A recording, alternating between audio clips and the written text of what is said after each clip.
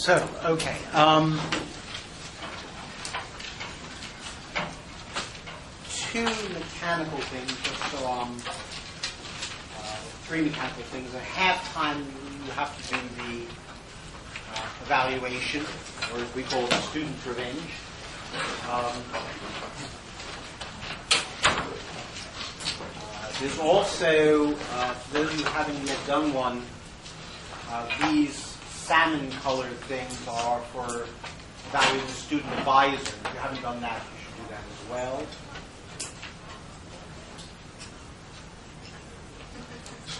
Um, can I just see, so I can organize my life accordingly, uh, a show of hands of people who are intending to attend the, the open session next Wednesday? Oh, all right, enough people to make it worthwhile. Okay, uh, just check.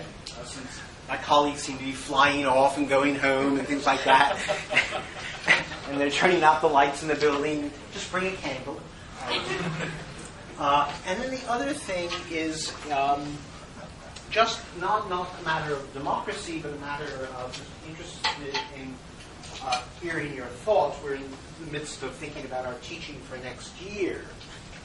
Uh, and next semester, I'm pondering uh, three possible courses. Uh, one, uh, simply straightforwardly on Kant's third critique. Uh, a second, a modification of that on the third critique and Schiller's uh, aesthetic education letters. And then uh, something altogether different, uh, uh, a course on Sartre, Beauvoir, and Butler, being nothingness, second sex, and, and gender trouble. Can I just see, uh, and this is just for advice to help me get my eye in, uh, um, roughly who would prefer the, the first, the straight concert critique? You, uh, the second alternative, Kant with Schiller. Just a couple little Schillerian. And the third on, on existentialism and feminism. Why don't you vote it twice?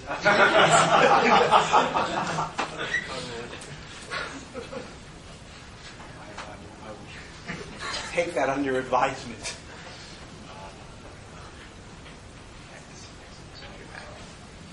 Okay. Um,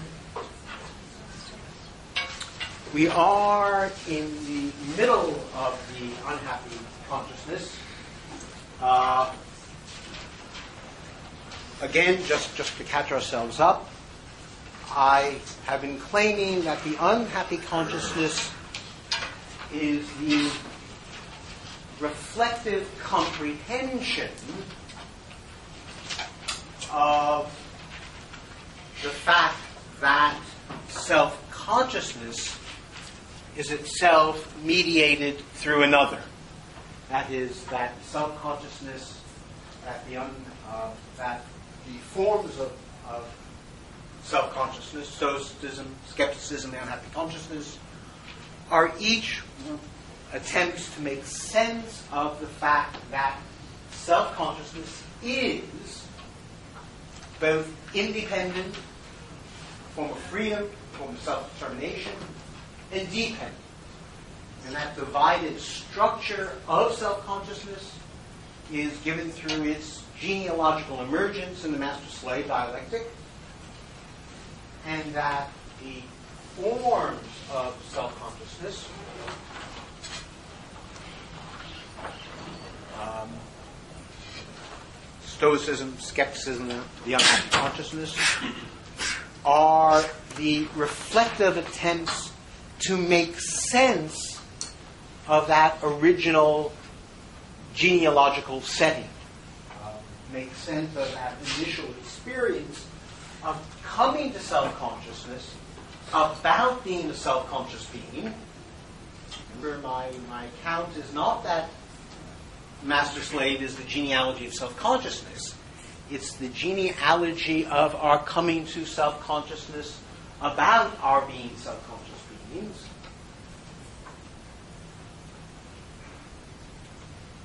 Um, and in that experience, we discover that our self consciousness is mediated,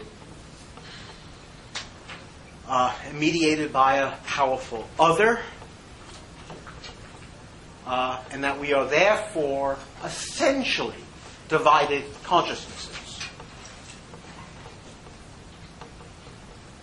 Stoicism, skepticism, the unhappy consciousness are reflective comprehensions of that self consciousness about self consciousness. So it's kind of three levels of iteration, right? Being self conscious about being self conscious about being self conscious. Um, and that the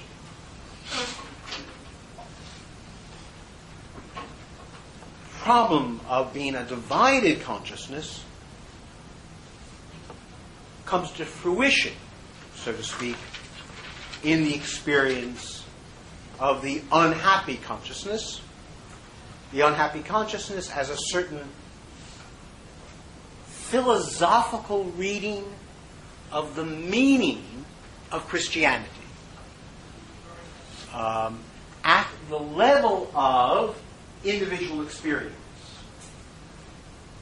I'll say something about what that means hour. But at the level of what Christianity does for the individual in their understanding of themselves as a divided consciousness. So, not yet Christianity in another form, which we'll talk about later. So, so this is a philosophical. So, this is Hegel for the first time using an institutional practice, this case that of medieval Christianity, in order to, or the claim is, is that what religion does, what that practice does, is provide us with a form of self-understanding. It should not be surprising. Why else would one become a Christian? If it did not provide us with a form of self-understanding. But it provides us with a particular form of self-understanding, namely of ourselves as a divided consciousness. And the aspects of Christian belief, three aspects are here looked at devotion, sacramental desire and labor, and self mortification. These three aspects of the unhappy consciousness are three ways in which this form of divided consciousness, namely one that takes the unchangeable to be its essence, to be its true self. Right? God is my true self. He is the creator. I am his creature. I am his nothingness. He is my essence.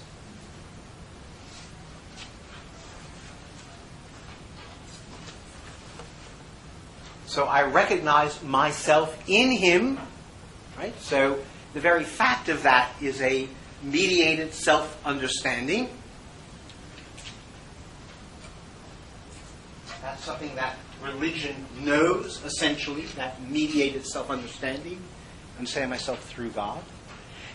And yet, because of the structure of that difference, namely, He is up there in the beyond, unchanging, and I am down here with my flesh, with my body, then I have to make sense of that fact. That is, that his beyondness and my changeableness, my finitude. Now, there's one further twist here, and the further twist is Christianity always thinks about this problem at its core and it thinks about this problem at its core because the claim of Christianity is God had some benighted benevolence or masochism. Masochism is the more plausible. Came to earth in finite form. God became man and died on the cross. The incarnation is the fundamental fact of Christianity. That is, that something about the structure of Christianity from the get go says that there is no essential gap between finitude and the infinite. That the very fact that God can happily, well, anyway, God takes on this finite form, wanders the earth, you know, does a few tricks, goes back home. That's one version of the story. the fact that he does that um, is already its indication that somehow the gap between unchangeable and changeable is itself not ultimate. Now, nonetheless, nonetheless, we've discovered that that would be okay, except for the fact that the son of a bitch, we call Jesus, died. And, and therefore, it's as good as if he hadn't been here. I mean, what's the point of having someone who incarnates and then leaves, right? So the incarnation is a kind of bit of a, of a, of a, of a, of a cheat, right? He both said, I'm actual, I'm real, I'm just like you, but the grave is empty. The grave is empty. So, in a way, the emptiness of, of the grave is, is, in a way, what the unhappy consciousness is, is trying to, to get over, get round. Uh, so it's still struggling. It's still struggling to make sense of that relationship between the finite and the infinite. And Hegel takes it, and this is, again, Hegel being much, much more interesting, I think, than theology if this was a theology course, I would now launch into many hours of lecture on the Trinity. Um, and I take it that it's not an accident, as Harris notes, that when the church wanted to punish Abelard, uh, Abelard um, I have a deep, deep love of Abelard. The History of My Calamities, a little tiny book you should all read. Abelard I always took as the first rationalist in the church. His Sic Non is a great rationalist doctrine, I think. And he really argued, and I think this is why the church cut him off, so to speak. Um, put it politely. Um, that he argued that reason, uh, I'm sorry, faith must meet the criteria of reason. That was unacceptable. And hence the first thing they did is make him repeat ad nauseum the Athanasian Creed, which of course is a creed about the status of the Trinity. And of course, if you read it, it's unintelligible, right? So, so at, the, at the heart of Christianity is gobbledygook.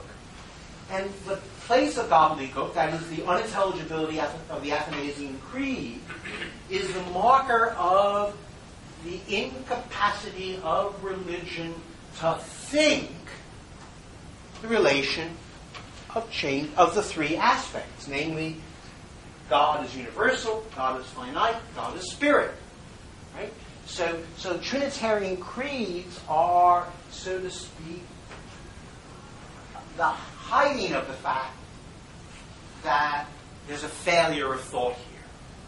Now, Hegel's, the greatness of, of this text is that he does not repeat the Athanasian Creed.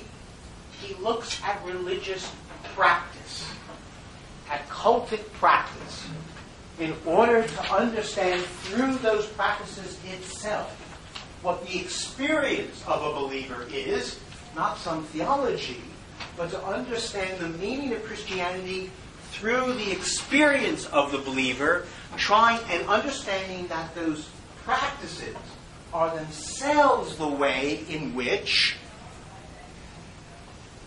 the believer works out the meaning of that direction between changeable and unchangeable, particular and universal, finite and infinite. And it's those practices that are the key to the uh, meaning of Christianity. And this actually runs through all of Hegel's uh, reading of religion. Namely, he understands religion through cult practice, not through theology. So it's an institution with sets of institutional practices, and you understand the meaning of the of the institution by looking at the structure of those practices as themselves a working out of its deepest set of commitments, its, its forms. Hence, the account of devotion, of, of, of the Crusades, which is where we left off last time, and now the movement to sacramental desire and labor. Are we all on the same page? Ish. Ish. Okay. So, let, let me do the, the overview of, of this section and then say uh, um, a bit more uh, about it.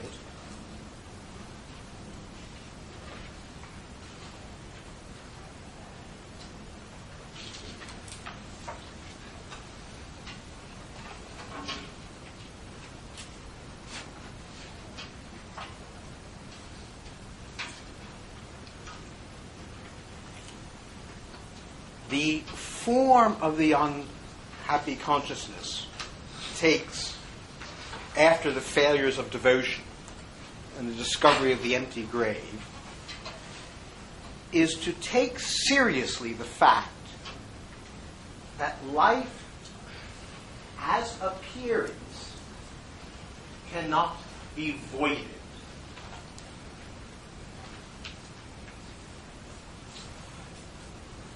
But rather, we should think of, of the earthly life as, as in truth, God's gift. And hence, in thinking about it in terms of gift, it reveals a different way of thinking about the nature of our dependence. Because the gift here is the gift of life, the gift of life on earth. So instead of repudiating or trying to identify, what comes to repudiation, but, but rather than merely trying to identify with the beyond as devotion does, here we take seriously um, the life of, of everyday human activity, which is, say, everyday desire and everyday labor, which is what our life amounts to desire and labor. And therefore, we begin to think that if life is dependent on Him and His gift, then, and if He is our essence, then we should labor not for ourselves, but for Him. That we must interpret our own worldly activities as the fulfilling of this gift, which, because it's a gift, we try to return it, as it were. We try to, to, to give back by fulfilling the desires, by, as it were, working hard and having a sense that we're working not for ourselves, but for the other. And this again is deep in, in, in how one, uh, you, if you did a sociological survey um, of, of just ordinary working people. And, you know, you ask them what they were working for, I'm sure the vast majority would say, for my family. That is, no one works for themselves. That is, we dignify the meaning of work by thinking of work as not a form of self assertion, but a form of self sacrifice for the sake of something beyond ourselves, something larger that we belong to. And if we're religious, to think of it as indeed working for the very being who gave us life and the earth. So, in this case, this, this form of practice of, of sacramental desire and labor, as calling it, takes seriously the incarnation, but thinks of it like its own life as something to be sacrificed to the unchangeable world from which it came.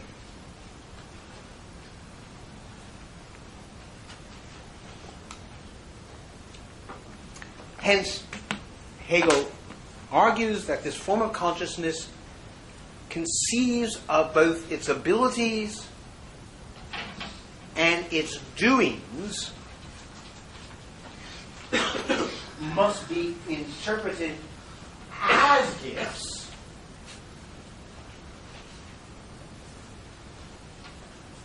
those of you who do contemporary political philosophy will know that the most debated aspect of Rawls's theory of justice is his theory that we do not own our own abilities. The ownership over abilities. So, Hegel says, no, we don't own our abilities. They come from God. They don't belong to us intrinsically. Therefore, we do not own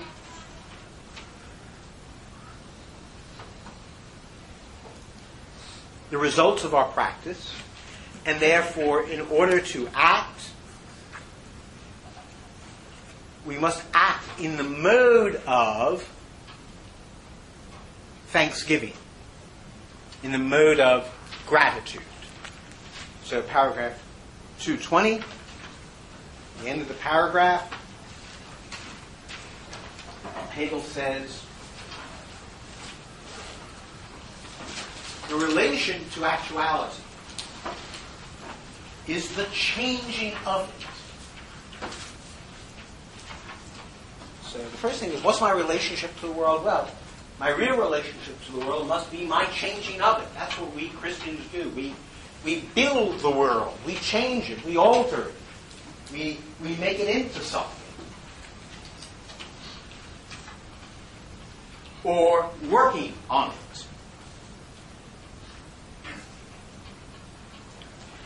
So the idea of the original slave labor is now another form of slave labor, not now under the form of coercion, the original experience of the serf, but under the form of gift and gratitude.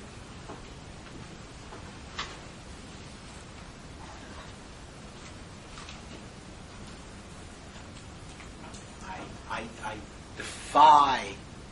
No, I'm I, I have certain skepticisms about recent appropriations of the gift. They've got to be theological. They've got to be theological. And it's the most, you know, it seems to me the most atrocious theological moment in Derrida's thought is his account of the gift. And his argument against exchange. Both, both his accounts of exchange and the gift are, are, are um, severely mistaken, I think, of which the uh, book on, on Baudelaire uh, and time, that given time, given time is, is just easily his worst book. Easily his worst book. He never thanked me for telling him that. He'll get his revenge. Um, So the relation to actuality is the changing of it and working on it. The being for self, right? The point is, is here is by working on it, whatever else you may think, there is a moment of being for self. Right? Even if you're in the mode of gratitude, even if you're in the mode of thanksgiving. Right? This is the mode of the being for self which belongs to individual consciousness as such. As such. But in this relation, it is also, also, not, not one or the other, but also in itself or has intrinsic being. That is, it also has the master moment. So this is the serf having the master moment.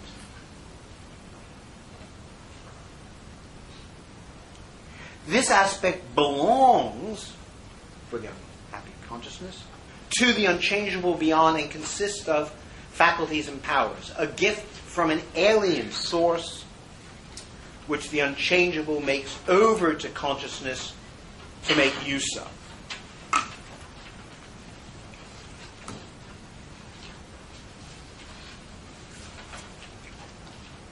So, roughly then, this dialectic works out as the unhappy consciousness attempting through its independent initiative, through its laboring and working,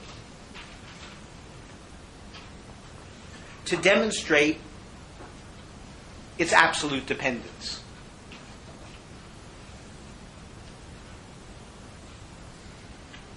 And clearly, this is bound to be self defeating. For the more it labors, and the more successfully it labors, and the more it desires for the sake of the Lord, the more it necessarily feels its own extreme independence and individuality. So, um, two thirds of the way through paragraph 222.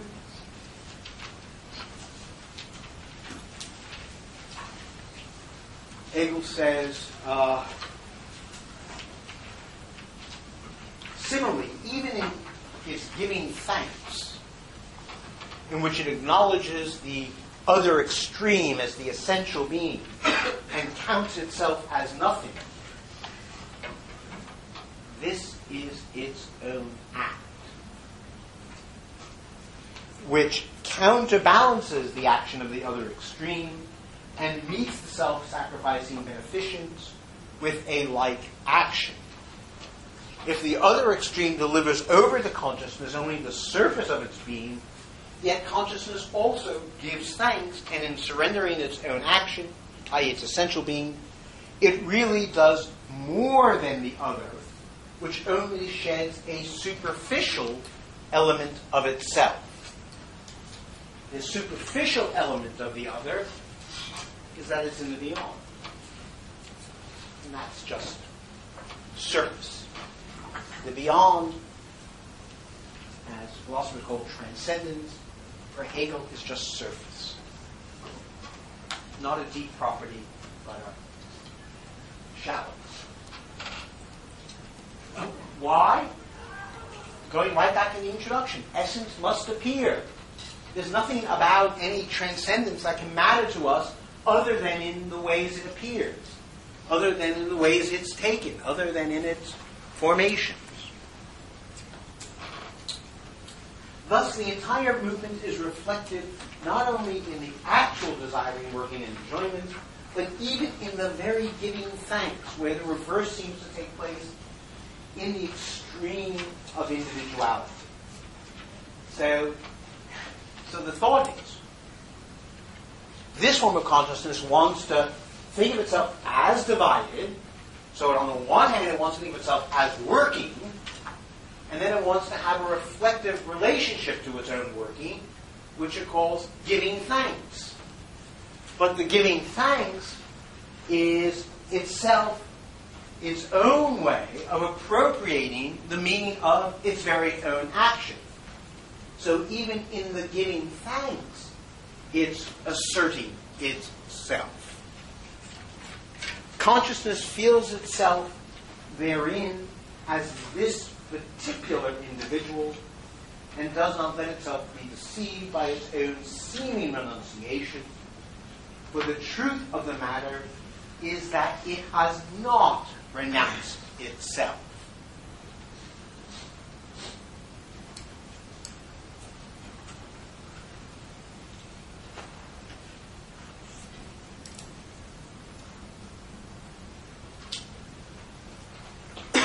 What has been brought about is only the double reflection into the two extremes.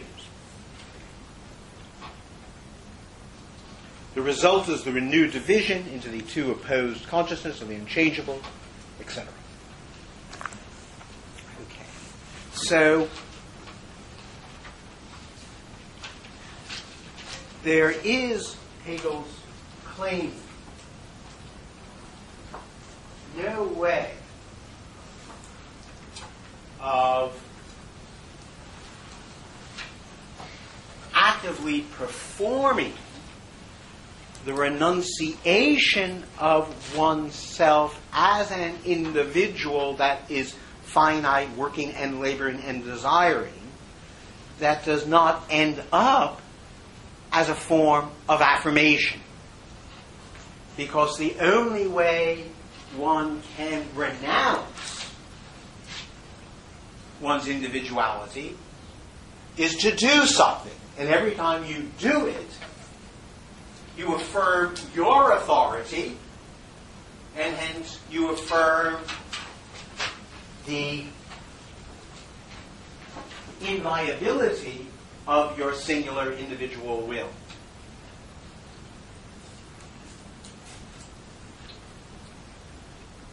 Paradoxically, then, performance of renunciation becomes the occasion for a grand and endless action that effectively augments and individuates the self it seeks to deny.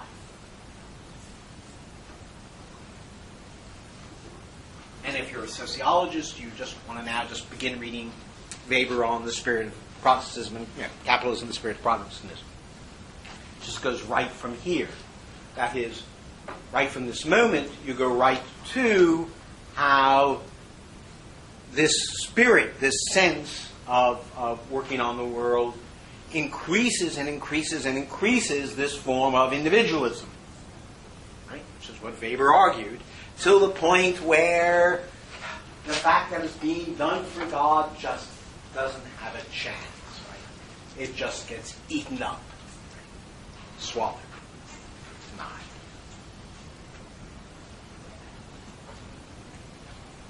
So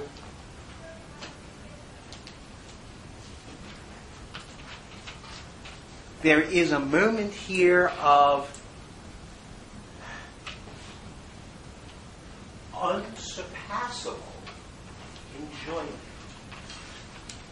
of satisfaction. And the satisfaction occurs because there is an inevitable form in this laboring and doing of self affirmation.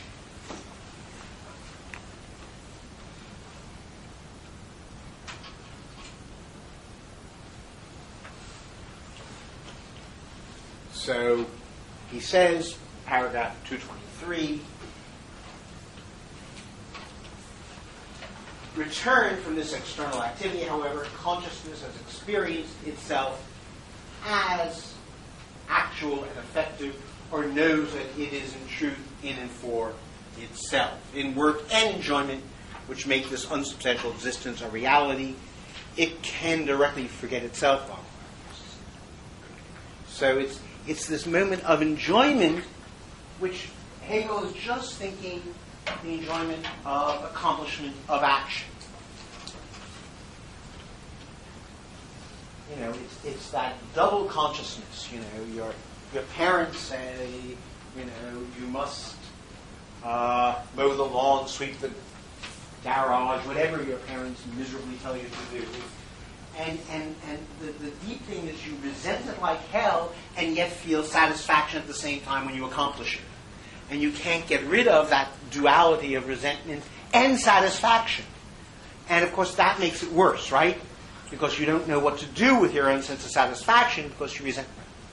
Isn't, isn't giving thanks designed to cover that over? Of course, right, right, right. It's, it's, it's, it's trying to make the superego into an ego ideal. Right? Never works. Okay, now,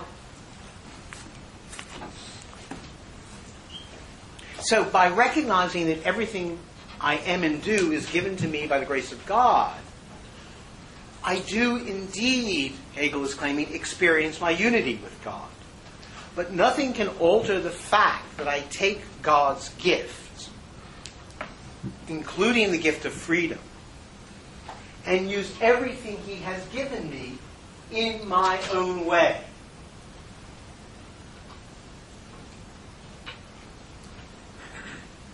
So, as Harris rightly says, the cycle of desire, labor, and enjoyment is all mine.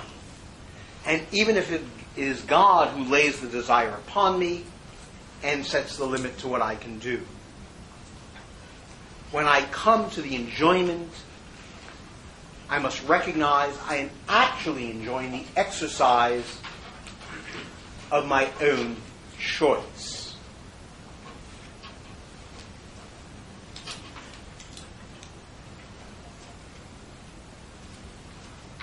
So the contradictoriness of the unhappy consciousness arises from the inviolability of the unity of mind and body in an actual embodied consciousness. That's the only way you can read this section. That is, the contradictions arise from the inviolability of the unity of mind and body in actual embodied consciousness. Now, this leads me to a, a large, uh, not so large, a little aside. Um,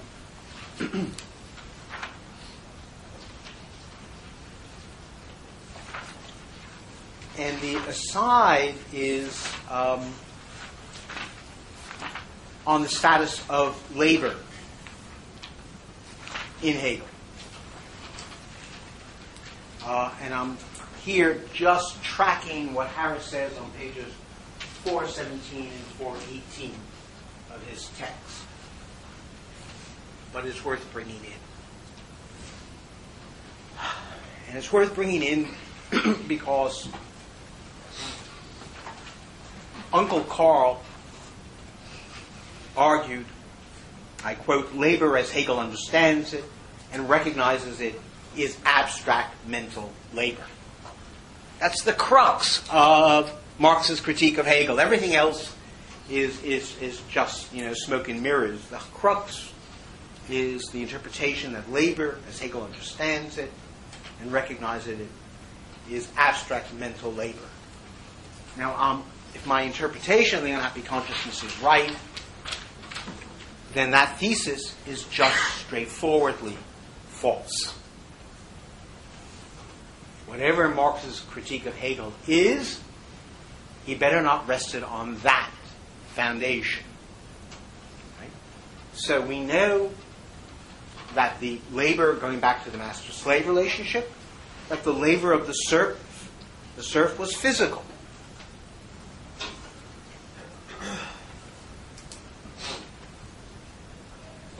and only superveniently, namely as a, as a mode of, of, of afterthought,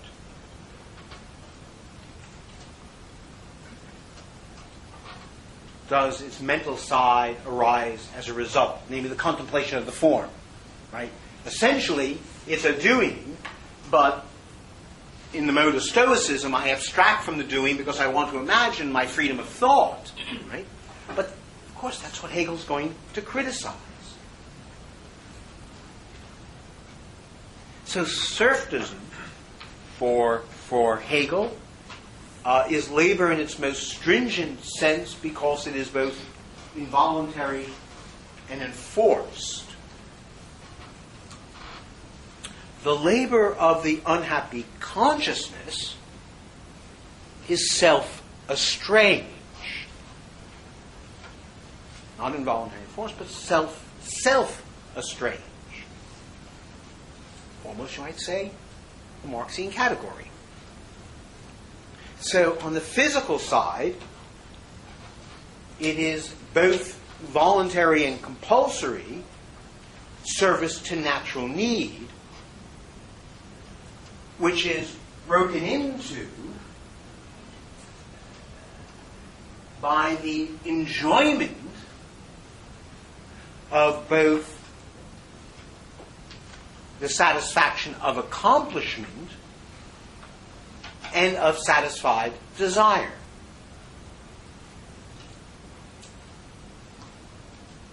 And of course, on the other side, it is voluntary service for God. But the voluntary service is indeed purely mental, and it is indeed what is important to the unhappy consciousness. And it's because of this that this unhappy consciousness, in its laboring, can conceive of itself, in its laboring, can conceive of itself as free and universal. Because I'm laboring for God. I do, yeah? I'm still confused in this voluntary service to God. Um, and insofar as it's a practice of devotion, surely it's not entirely mental. I mean, you go to church, you do various things. burn- Right, but- but- incense and smoke and all that kind of stuff. Right, but remember, this is not about the devotion side, this is about the thanksgiving I side. mean, even in Thanksgiving, there's a set of, I mean, I thought the point was that it's a set of practices.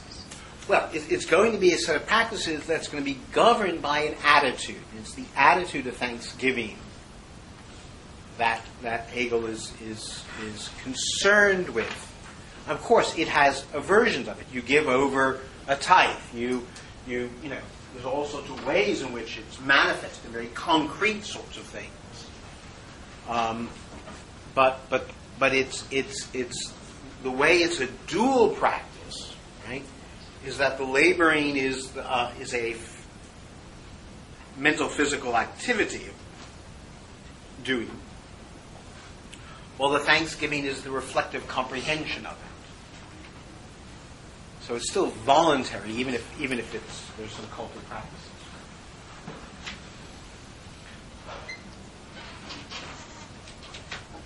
So the point here, however, is that this Thanksgiving can, of course, not make any difference at all to or in the beyond. That the only significance of Thanksgiving is the experience of the working and laboring itself. And the argument again here is the experience of working and laboring is always going to be one in which I am transforming the world physically and socially all the time. That is, Christianity is nothing if not world making, even if under some illusory horizon about in whose service or for what reasons. Hence, in this world making, it will give on to the Protestant ethic, that is, modern faith. And in modern faith, in the light of the Protestant ethic, it will literally become Bildung. That is, the cultivation of itself as it makes the new world.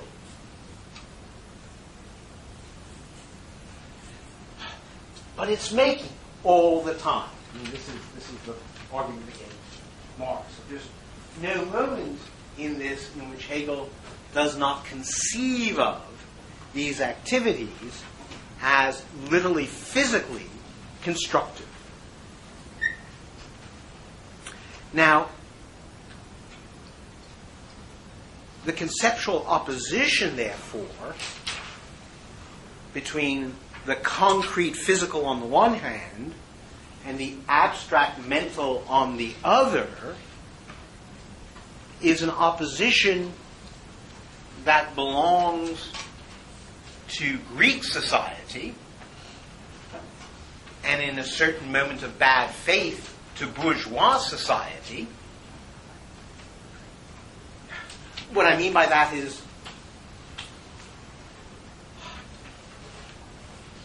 you go to Wall Street every day, you are ruthless, you are cutthroat, and you go to church on Sunday. So you have your moment of working on the world, of making it, of affirming yourself, of doing all that stuff, and you have the purely mental side of I'm a, I believe, which only in America does this continue to exist. But anyway, this form of bourgeois life, it's, it's, it's like America is like a museum. So we can understand the phenomenology. Bourgeois life is still like that? How did that happen? We need another course to understand American religion. Because American religion is not cult. That's, this is really a, okay. Let me have a segue. It's actually important. Why has, has religion not faded from America? Because in America, I think religion has never been essentially a social practice, that is, a cult practice, that is governed by a church with a series of practices, and that the institutional belonging to the church was the essential thing.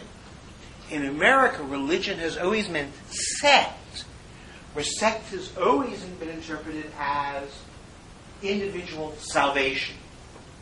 That is, the relation of the individual to God. So that even in its most, so that, and the thing about sect, right, is that it can not only um, exist under conditions of fragmentation and dissolution, but it can thrive under these conditions. That is, it doesn't need to be in competition with the state. It doesn't need to have institutional. Right? It, it can thrive on isolation, loneliness, fragmentation, dislocation. It has its its its its core there, so that all the ways in which, in European nations, in complicated ways, complicated ways. Um, and sometimes very recently, right, in cases of Italy and Spain, have has the church lost its power by the state taking over some of the integrative uh, uh, arrangements of the church and taking responsibility for it. You uh, can read the writings of our colleague upstairs, Jose Casanova. This is what his research is all about. Uh, but in the United States, because we have not had that kind of institutional church, then that usurpation of the experience of a secular society uh, has not occurred. Um, so you do have something very odd and curious here. That is this, this continuation of early, very early bourgeois Protestant experience. Hence, the, the, the dualism uh, which um, between them, concretely physical and the mental, uh, between the six days of the week and Sunday, which is the concrete manifestation of that, right? Which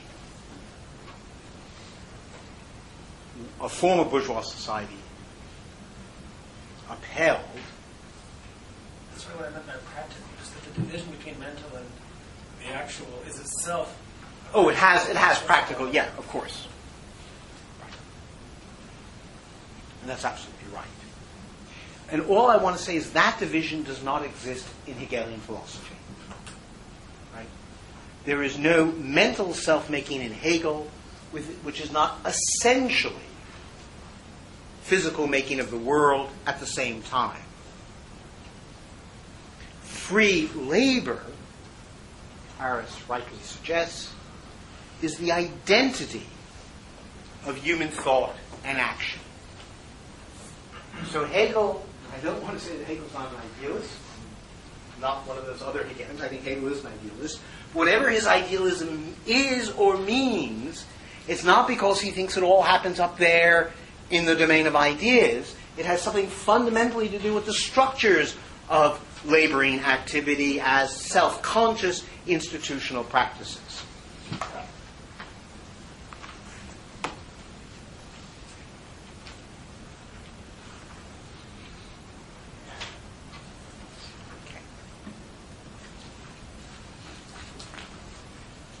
So it is unsurprising, therefore, that there's going to be something ultimately self defeating about Thanksgiving.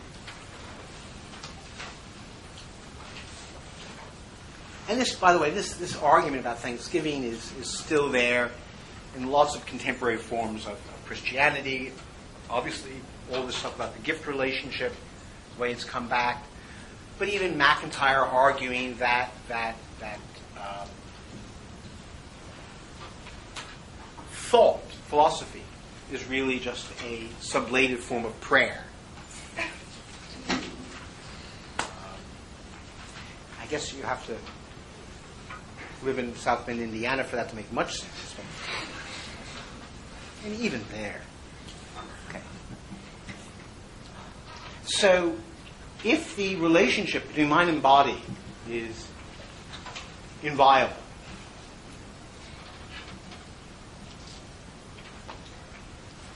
then the full recognition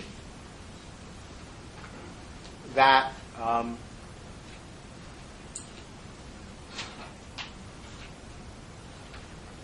full recognition of God's giving, as it were, places me in my body as a free acceptance of my embodiment. That's the achievement of the gift moment. Let me be clear the achievement of the movement, when it gets absolutely right, is it leads to the free acceptance of embodiment and laboring. But then it finds it's another form of self assertion. So the problem then becomes the problem of the will. It's, it's not that I can quite know what to do with my body, although my body remains a problem. Uh, but it's my will that seems to be getting in the way. I seem to be asserting my will. And it's just that which is going to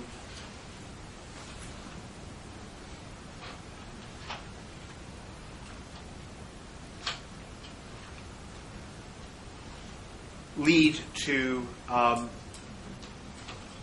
a new relationship, that of, of self mortification.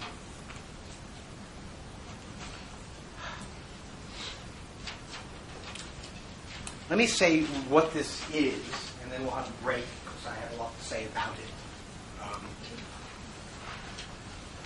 the last form of the unhappy consciousness, and again, remember what I said um, before all of these forms now continue. Now we should be hearing so that on the one hand we move on to another one, but unlike earlier accounts, they're not quite sublated because they each have their own structure of temptation, which is what one of the things I'm trying to illustrate, is they carry on as, as contemporary forms of self-understanding. The last form of the unhappy consciousness um, is one in which it seeks to divest itself actively, completely of its initiative and its embodiment as of worth at all. So just taking the extreme view, um, having, as it were, failed to find a mediated way of getting back its body, this is going to be the attempt to systematically uh, disidentify itself with its will and embodiment. So rather than enjoying its activity in the service of God, it mourns and agonizes over each and every element.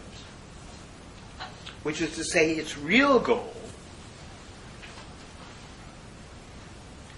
is to reduce itself to nothing, to achieve, as it were, the nothingness of its inessentiality. That is, if my activity and embodiment are truly inessential, are truly worth nothing, then I want them to become nothing. And hence, I want my inhabitation of the world to become nothing. That is, I want to reveal worldliness itself as a nothing. And the way it does this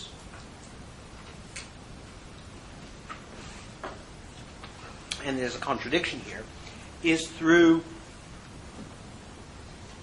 a focus on its animal function. Paragraph 225.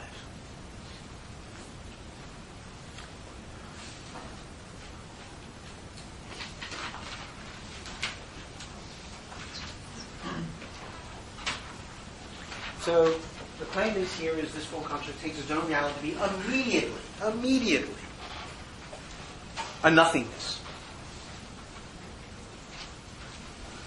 Its actual doing thus becomes a doing of nothing, its enjoyment a feeling of its wretchedness.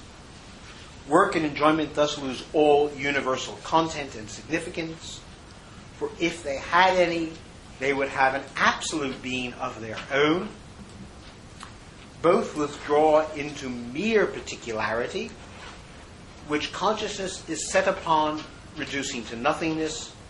Consciousness is aware of itself as this actual individual in the animal functions. These are no longer performed naturally and without embarrassment as matters of trifling in themselves, which cannot possess any importance or essential significance for spirit. Instead, since it is in them that the enemy reveals himself in characteristic shape, it's the devil. They are rather the object of serious endeavor and become precisely matters of the utmost importance. This enemy, however, renews himself in his defeat and consciousness in fixing its attention on him, far from freeing itself from him, really remains forever in contact with him and forever sees itself as defiled, etc., etc. Great repeated stuff. So, the guess everyone makes here is that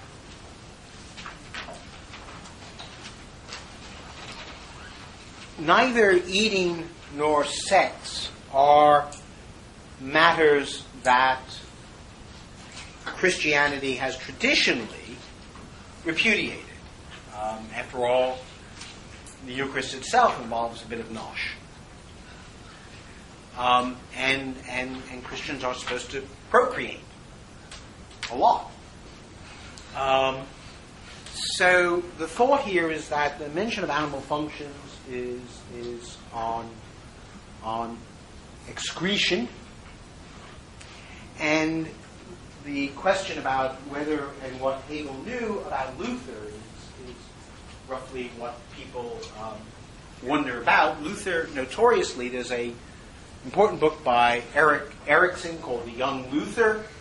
Erikson, one of the original Frankfurt School psychologists. And in The Young Luther, um, Erikson deals at length with Luther's constipation. Um, Luther apparently spent hours a day uh, in the bathroom, uh, in the privy, uh, and and I guess his assumption was if he spent hours a day in there, this must mean something, right? And he assumed what it meant was it was the devil trying to reduce him to his bodily functions, and hence his fight with constipation became the signature of the idea of what spiritual fighting meant. So that if, if he could somehow, um, you can go on the web and, and, check all this out. I'm not making this up. Uh, indeed, uh, I think it was in the mid 60s, I'm from Paris, I know this, they actually discovered the, the privy, uh, the bathroom where Luther did all this. This was a great discovery of, of lots of stuff going on in Wittenberg. Um, well, the comedy of this is also the comedy, I want to say, of the abject.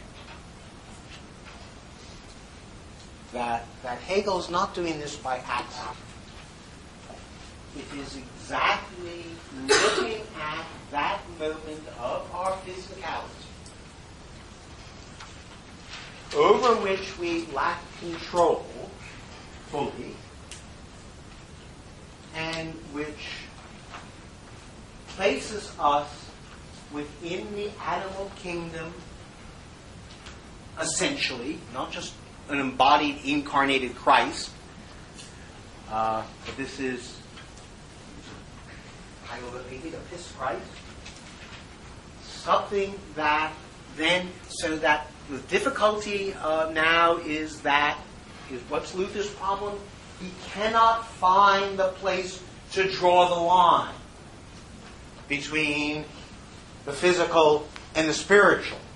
So he's turning back on that physical and on being unable. The, the excremental vision here is the inability to, as it were, draw that line, is the experience of abjection. Abjection is the experience of the uh, lapsed boundary or border. Uh, so this last form of the unhappy consciousness is indeed a form of abjection in the most profound sense.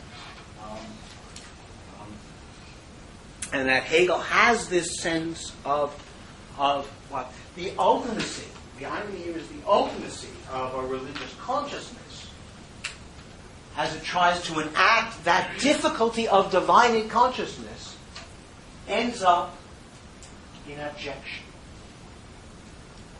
Ends up in abjection.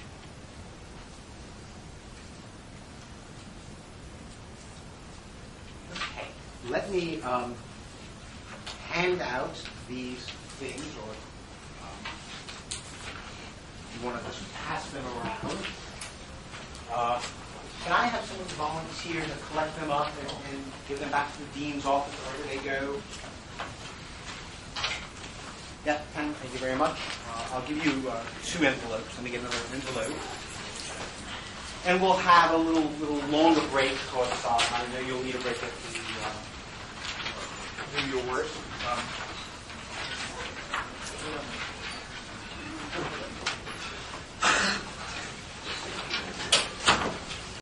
Should we begin?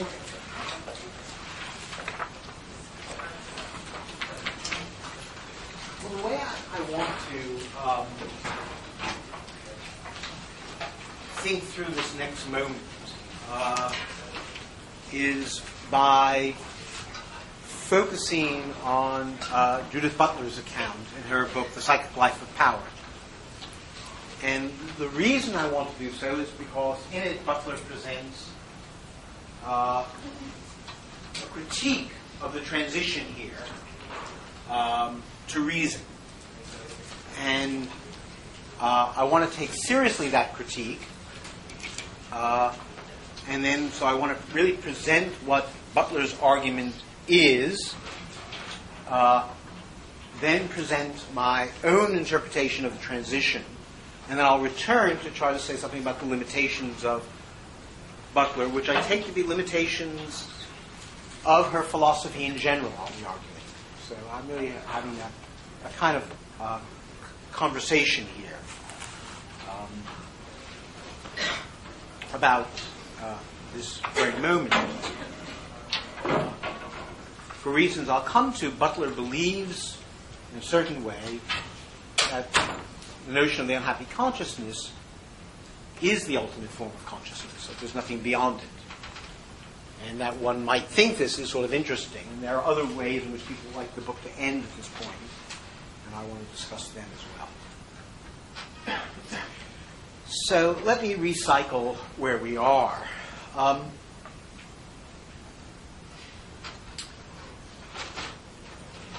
just working through, just following Butler's line from work into abjection and then the transition. From the performative self assertion of work, Butler argues, uh, as I have been all along, that performance becomes the occasion for the grand and endless action that effectively augments and individuates the self it seeks to deny. And hence the final turn to self mortification, in which the notion of self defeating performance, which is what I've been arguing is the structure of the argument all along, a series of self defeating performances, is nonetheless has to be slightly different. Here she says what occurs is a negative narcissism. That is, an engaged preoccupation with what is most debased and defiled about changeable consciousness. So, in regarding itself as nothing and as doing nothing, in regarding itself as an excremental function, and hence as regarding itself as excrement. That's what's really occurring here. This consciousness effectively reduces itself to the changeable features of its bodily functions and products. That is, to use a phrase of Blake's, you become what you behold. And if you are absorptive, absorptively focused on, on those functions, then you, as it were, take yourself to be nothing but that. Yet, and here's the flip side, since it is an experience of wretchedness, the intentionality of consciousness slipping in, because you're having an experience of your wretchedness, then there is some consciousness that is taking stock of those functions, and hence which, because it's intentional, cannot be thoroughly identified with them, which gives a slightly Sartrean reading to the intentionality of consciousness here. And there's uh, always in Butler a, a slightly Sartrean subtext, I think.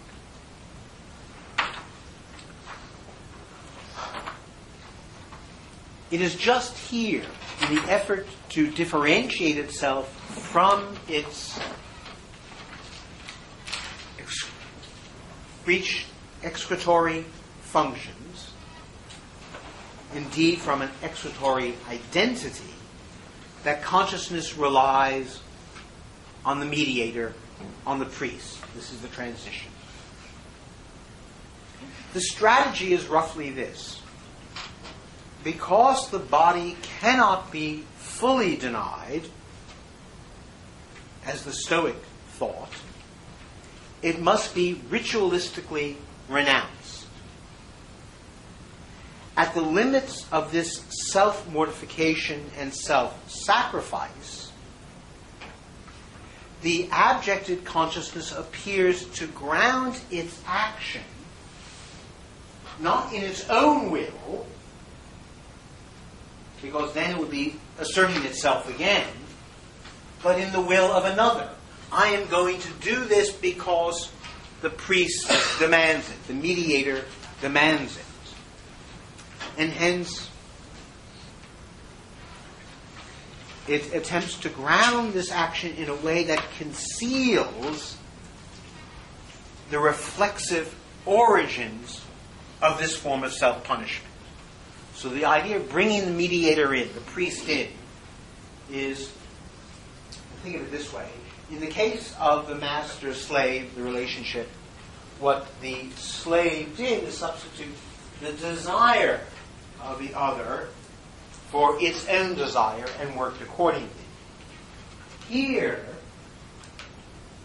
the unhappy consciousness is substituting the will of another, namely the will of the priest, for its will as the grounds of its self punishment.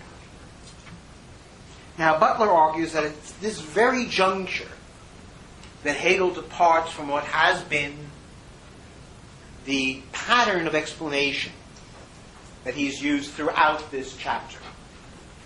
Namely, a structure of explanation in which the self negating posture is underscored as a posture, as a duty. That is, every act of self negation is self defeating because it is something that I do. And hence, a phenomenalizing, so the self negation is phenomenalized, made present in an action that refutes the negation it seeks to institute. All this again, you know, just my joke, talking to myself. So, in place of this kind of explanation about this, Butler seems to me right, Hegel is offering a different kind of explanation, and she wants to argue that it's this other form of explanation that is suspicious and one we should reject. Here, Hegel operates an account that operates through the idea of a self sacrificial action. In effect, the self sacrifice, and this is the problem, is not refuted through the claim that self sacrifice is a willful action. That's what would involve in carrying on, right? There's a self sacrifice. I do what the priest tells me to do. I do what the priest tells me to do. Hence, I'm doing it. Hence, the priest is not right. That's not what Hegel says here. It's true. It is not what he says. Um, so it's not a structure of a self defeating performance. Rather, Hegel asserts that in self sacrifice, one really does enact another's will, the will of the priest. One might expect, she says, that the penitent would be shown to be revealing himself, to be self aggrandizing, to be narcissistic, that his self punishments would culminate in a pleasurable assertion of the self. You know, so so the idea she's thinking of is uh, no matter how much I whip myself, you know, body be done, you know, I can't get enough of that pain. There's nothing makes me happier, right? I mean, you know, that beautiful entanglement of pleasure and pain that is at the core of masochism. Um, one would have thought that that moment of pleasure would be the crux of the matter. And of course, it, you might think it should be the crux of the matter because, after all, and about this she's right, up to now, hasn't this whole chapter been about the entanglement of pleasure and pain. Hasn't this whole chapter been about a series of essentially masochistic strategies which always have a moment of enjoyment? So that the, the enjoyment is always supervenient on, on the pain because I'm, I'm performing the act as a form of self negation. But Hegel eschews this, this explanation. She says, in favor of, and I quote, a religious solution in spirit. So her argument is, is that whereas in all earlier examples of self negation, pleasure was understood to inhere in pain and, and, and you know, that's, that's kind of a fault have in order to read Hegel. The way in which pleasure inheres in pain, not as something beyond it, but in it, as a moment of it. The pleasurable self aggrandizement of the Stoic, the pleasurable sadism of the skeptic. And I, I, I should say that uh, philosophers only, I think, Hegel and Nietzsche really understand the way in which pleasure inheres in pain. And Nietzsche, of course, most radically in cruelty. Nothing is more pleasurable. It's at the core of the whole genealogy. It's festivals of cruelty. It's not? Not oh, what I. No, okay. Nodding. Not this. Okay.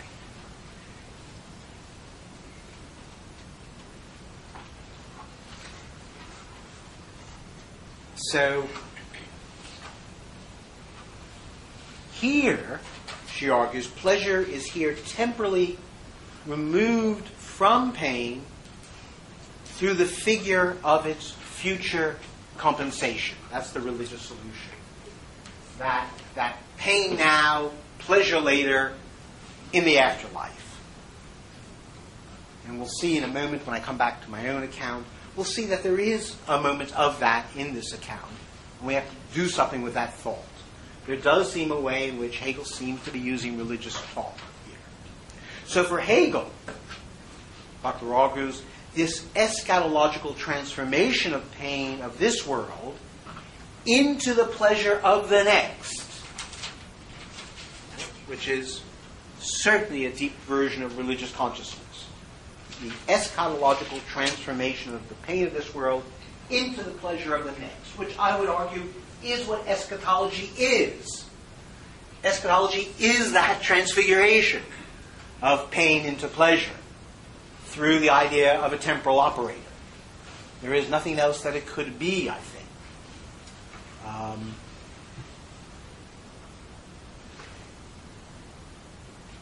this is what establishes, in a sense, the transition from self consciousness to reason.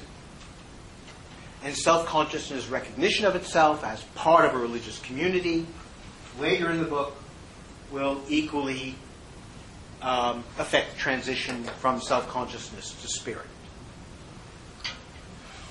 That's, that's Butler's critique, that Hegel, as it were, dodges out goes religious and solves the problem in the afterworld. Now, I want to go on and say a few things about Butler before turning back to Hegel here, because this chapter of Butler is fascinating. And as she elaborates her critique, we're also going to see why she wants to dwell uh, and continue this thought of the unhappy consciousness. So a few pages later, after lodging this critique, she says that the body, I'm quoting now, uh, page 54, the body appears to be nothing other than, for Hegel, a threat to the project of safety and self sufficiency that governs the phenomenology's trajectory. Let me repeat that. The body, she's arguing, appears to be nothing other than a threat to the project of safety and self sufficiency that governs the phenomenology's trajectory.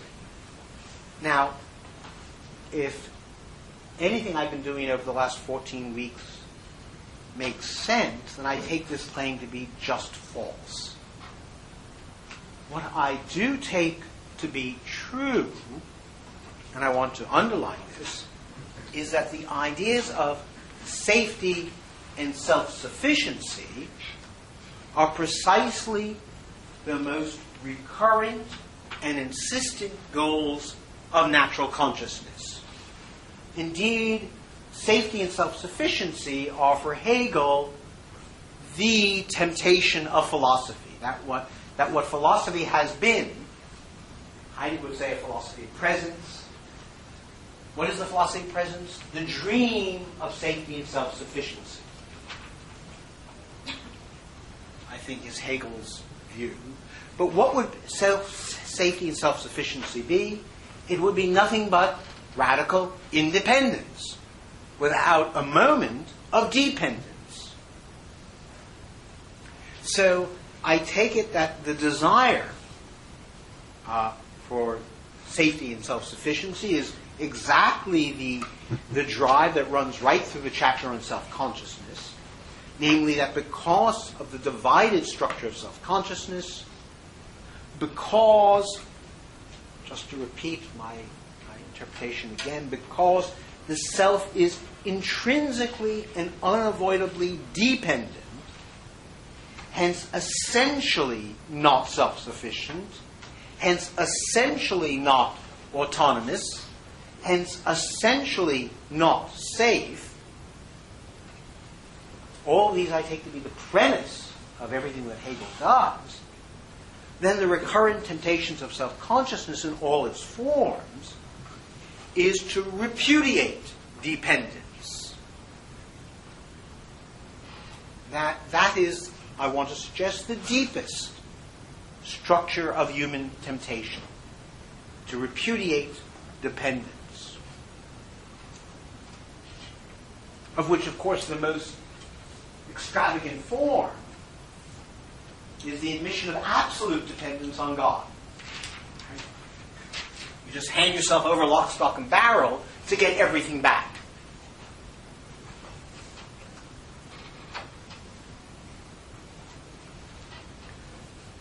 As I will be suggesting uh, as we go on with the text,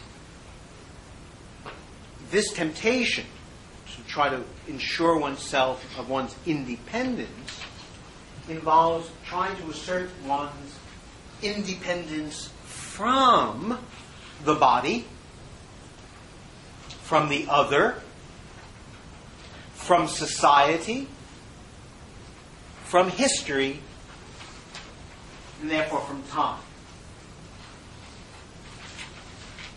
I will suggest that all the book is about the impossibility of asserting that independence from these forms of, of mediation of the self. If, to put it another way, our independence depends upon these others, then independence is itself a figure of dependence. That was what I was trying to argue in this, my account of the master slave. And if that's true, then I am claiming that what is found unacceptable or intolerable or unworthy or compromising is that experience of dependence.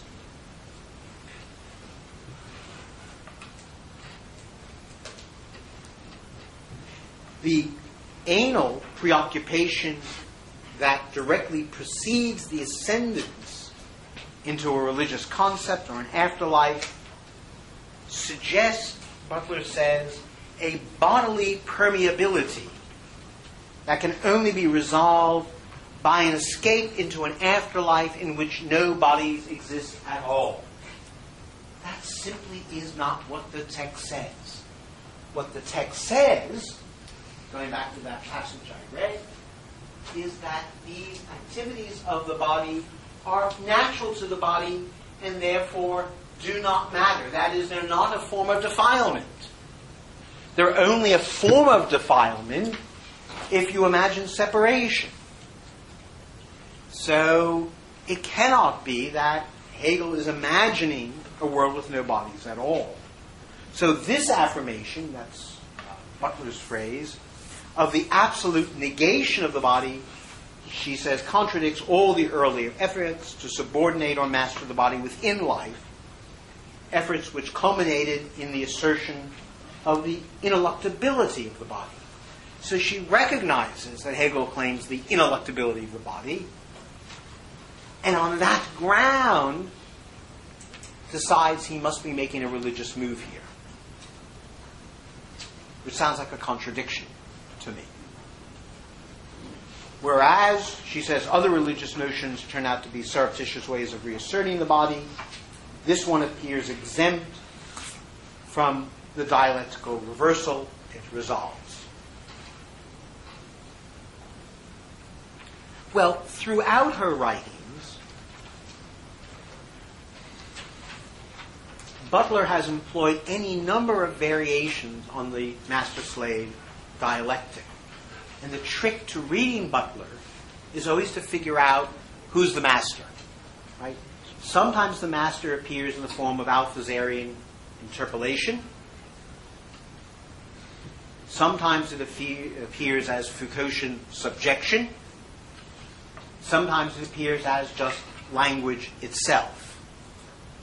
But always there is a structure of, of master slave. So it is unsurprising that she carries on this chapter by arguing that the pattern of the unhappy consciousness is one that reappears in, well, roughly the books that she takes to be her Bibles, namely Nietzsche's On the Genealogy of Morals and Daybreak, Discipline and Punish, and Civilization and Discontents. And the rest of the chapter tries to map out how the structure of those arguments are exactly the same as the structure of Hegel's. So, roughly, for example, psychoanalysis slots desire or libido or instinct into the place where Hegel has the body, so that the imperatives of conscience, where conscience is now the Freudian version of unchangeable consciousness, produce the very satisfaction they prohibit. Butler points out, Butler puts it, uh, page 55, like this. And of course, part of the reason I want to underline this is I want to say, you know, this, this is Hegel's argument here, so that these carrying on of these arguments in the genealogy in Freud and in Foucault are carrying on an essential form of a Hegelian dialectic. So she argues that the repression of libido is always understood as itself libidinally invested in repression. That's like the masochist, right? The pleasure I get I'm libidinally invested in the repressing moment. So the moment of the pain is the moment of the pleasure. That makes the repression, keeps it going and motivates it. Hence, libido is not absolutely negated through repression. The repressive law is not external to the libido that it represses but the repressive law represses to the extent that repression becomes a libidinal activity. That is, there isn't some antecedent libido that then gets stomped down by repression. Rather, libido is simply the underside of the movement of repression itself that keeps it moving as, as, as a relationship.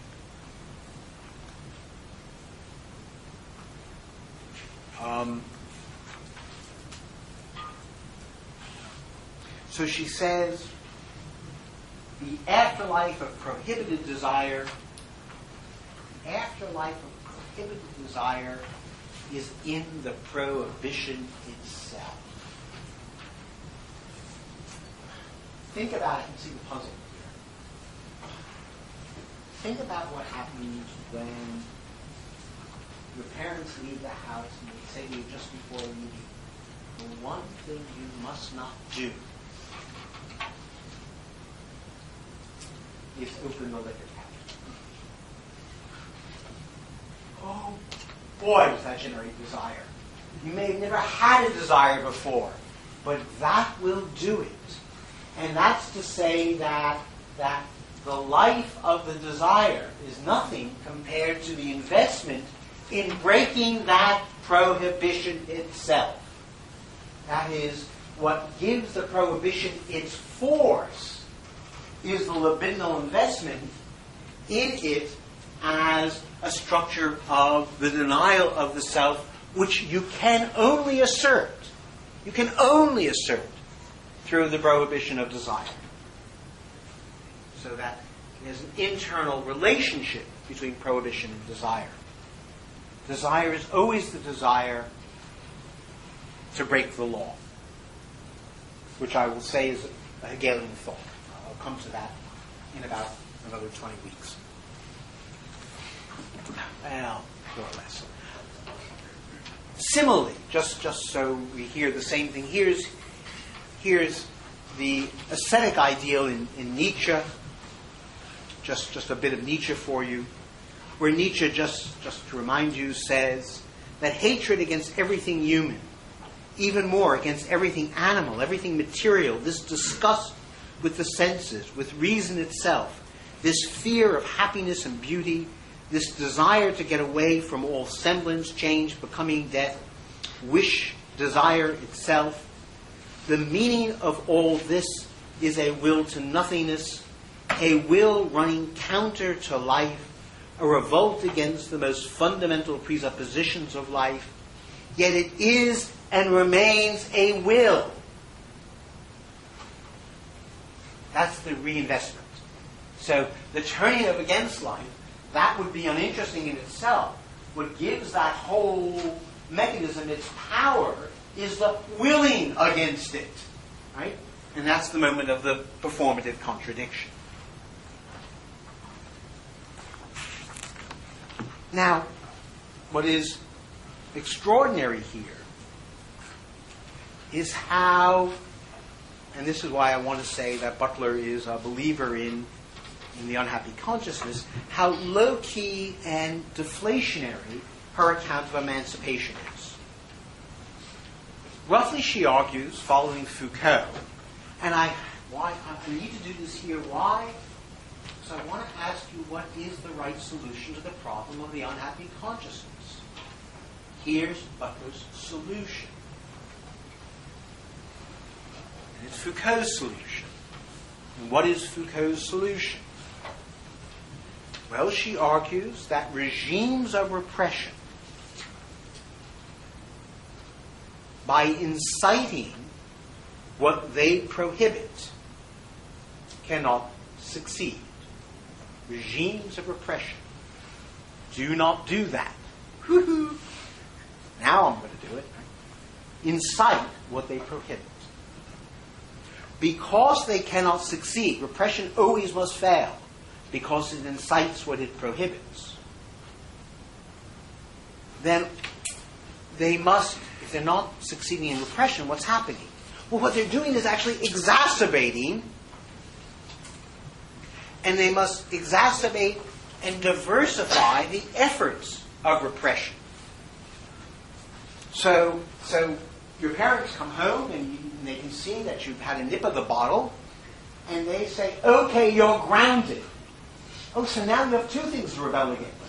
You both want to have a drink and you want to sneak out of the house, right? And and again, the next thing is going to happen. So every time you break the law, another one comes in, and, and, and of course, then multiple ones come in, and you diversify and multiply the desires of resistance.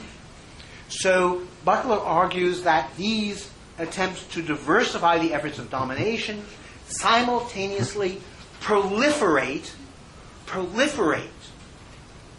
This is obviously the beginning of, of Foucault's critique of the repressive hypothesis. Proliferate the domain of the bodily beyond the domain targeted by the original restriction. And she argues this proliferation, I now want to drink and escape the house and not do my homework in it. I want to be really bad.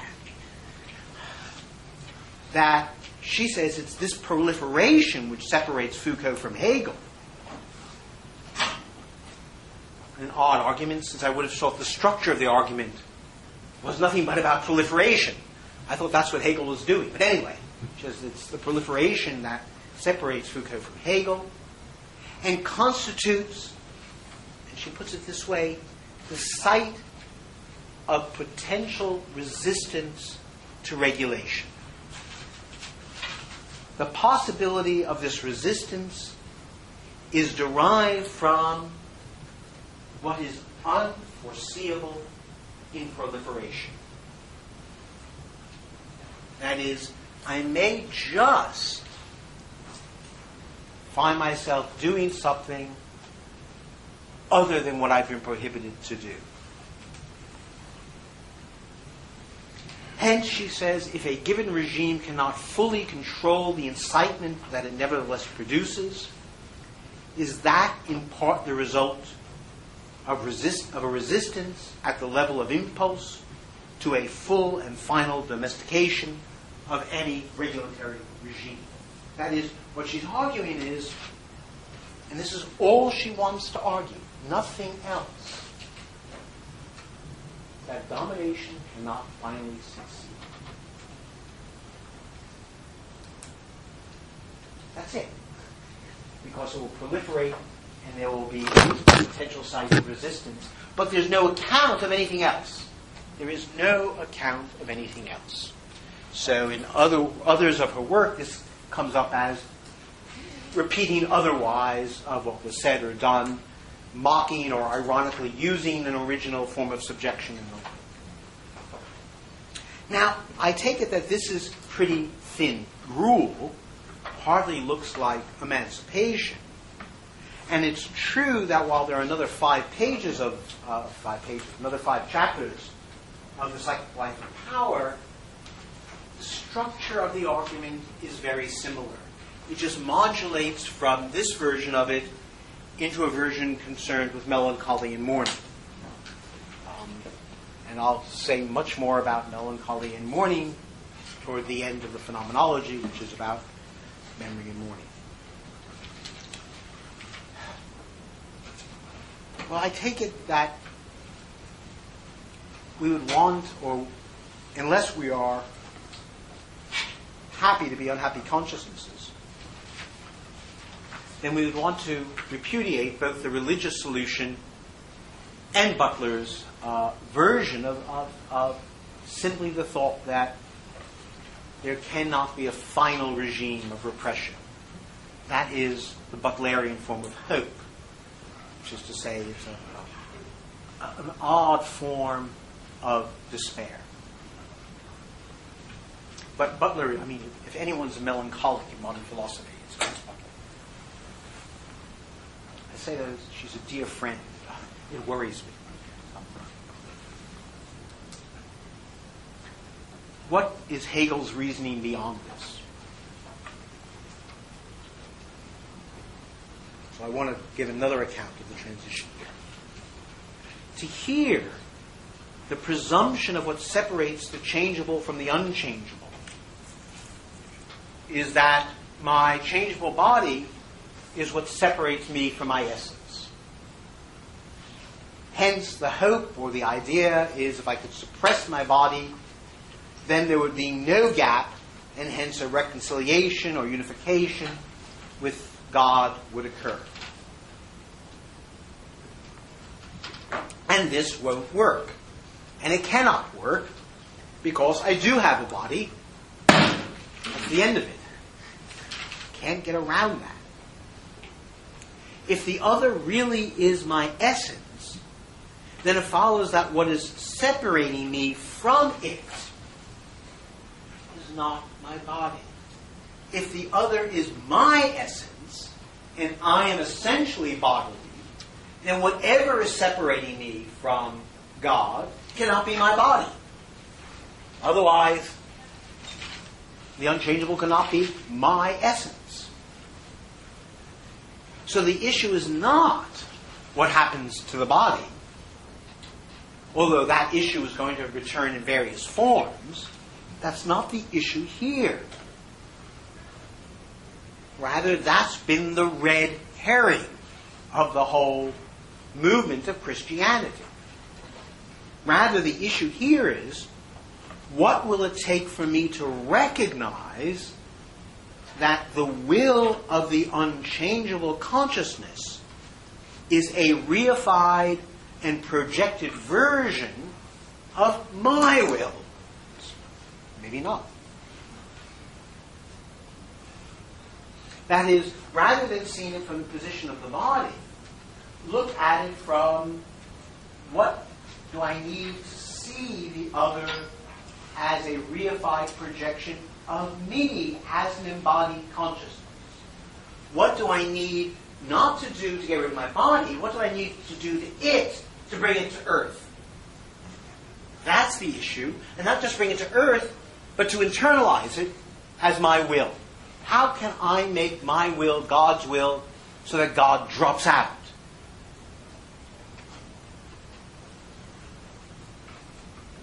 Now, of course, this has been this issue has been there from the beginning of the chapter. It is the very stakes of the incarnation. We're not going beyond the logic of the chapter. Rather, we're saying that we haven't yet come to grips with it. That is, we haven't yet taken seriously the incarnation. But we've been trying to, as it were, avoid it. So the first thing to remember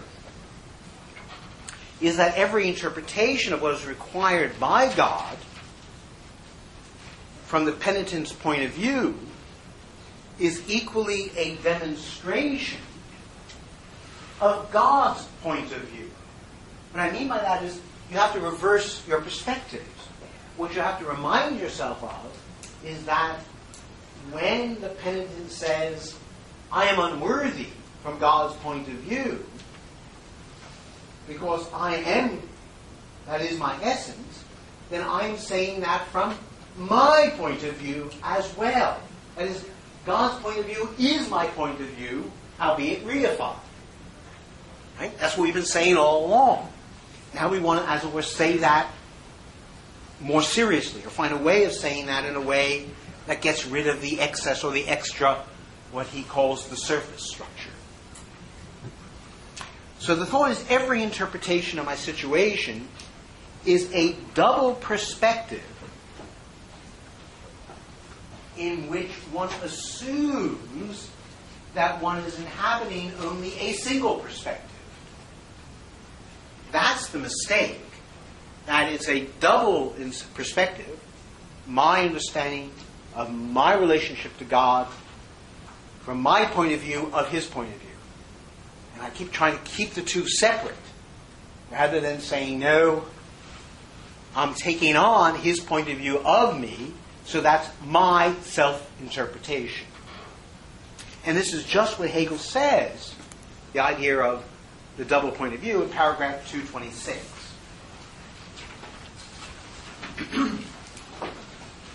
he says, so, very short paragraph, thankfully. Uh,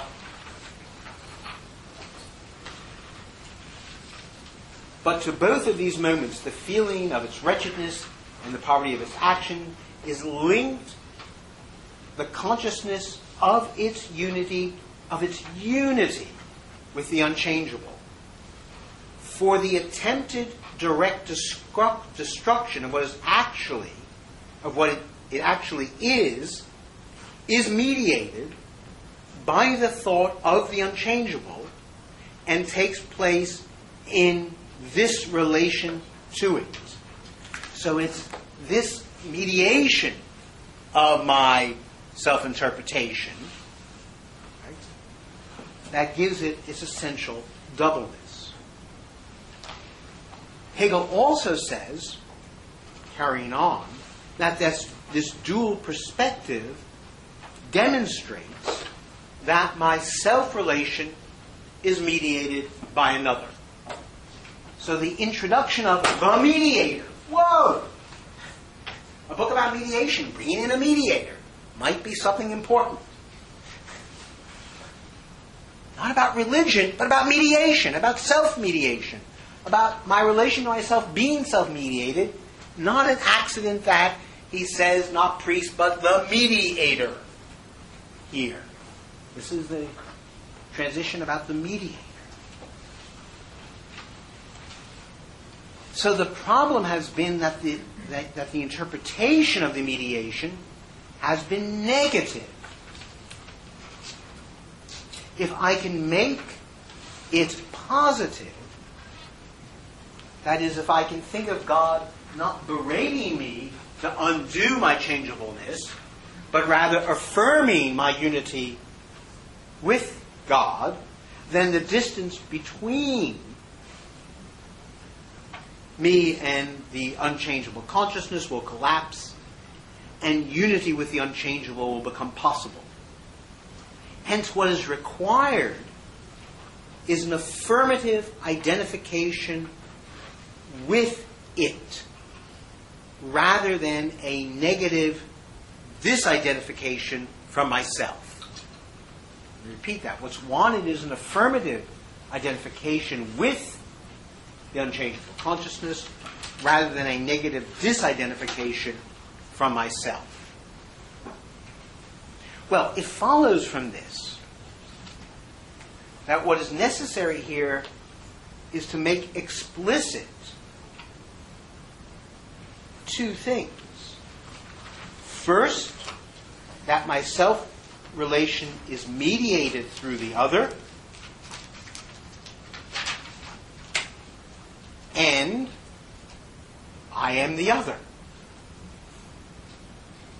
And it's my mediated self relation. It's a self relation that's mediated, right? So that the other is not anything absolutely external to me. And for this to work, three steps I think are necessary. First, what I'm suggesting is the hidden subtext of the chapter, the implicit likeness to me of the mediator, and I'm saying the with a capital T. I think it's that the mediator is Jesus. That's the mediator. That's the incarnation. The implicit likeness of me to the mediator must become explicit. I must, as it were, work through that likeness of me to God. Hence, the arrival on the scene of an explicit third. Mediation always requires a third. And the third is the actual mediator here, the priest. So what happens now is with the priest, mediation itself now becomes explicit. That's what's important with the mediator. Me- the mediator makes mediation itself explicit. That is, I am in a mediated self relationship to my own essence. Right?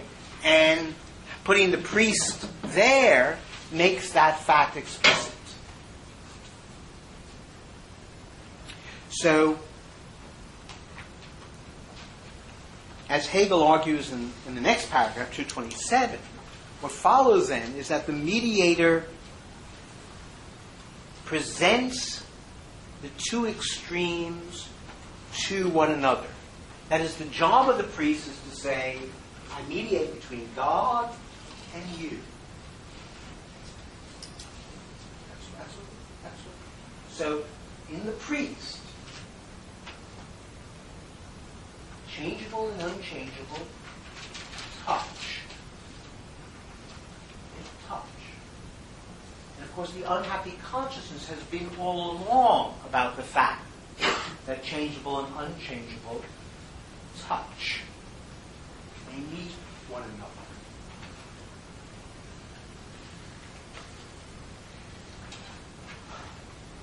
So the mediator, and here's an obvious thought that Hegel, by the way, for reasons I'll come to in a second, doesn't run with. The mediator, him or herself, explicitly already possesses within itself an affirmative version of itself as at one with both sides, as at one with the unchangeable and the changeable consciousness alike. Right? That's what makes the Pope so, you know, such a screwball idea, right? The very, you know, absolutely the Word of God right there in that guy telling it to us. Is he God? Is he man? What is the deal with the Pope, right? He's an old jerk. Now, now, if we were rushed, we're a little rushed, but if we were, I want to slow down, but if we were rushed, we could actually simply say that all by itself, this fact, recognizing what the mediator does, does everything that Hegel needs.